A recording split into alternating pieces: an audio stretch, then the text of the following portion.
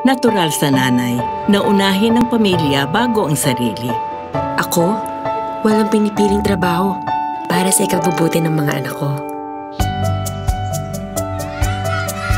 Alam mo, di man sila galing sa sinapupunan ko, galing sila sa puso ko. Walang katapat. Ang katapatan ng nanay. Inspirasyon ng champion. Puro maaasahan. Tapat po sa inyo.